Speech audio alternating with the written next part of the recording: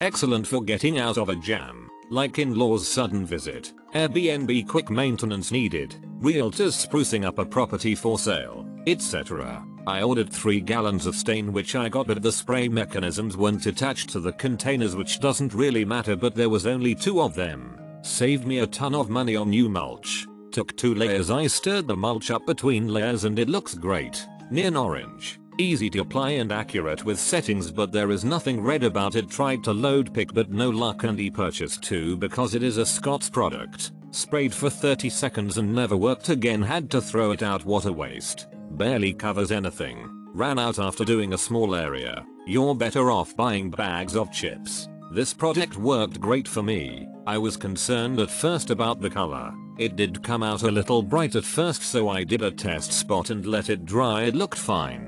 I will be purchasing this product again. Easy to use. Very satisfied. I had my doubts about this product but I am pleased with the results it brought back vivid color to my faded mulch I'm hoping it will last just applied it today and time will tell I did find it expensive and would have liked more coverage. But the good news is that without hauling heavy bags of mulch to freshen up the look, an easy spray makes it look like I did exactly that will need more to cover the rest of my beds hopefully it will last. The battery operated spray wand did not work. I had to dump it into a pump sprayer in order to spray it.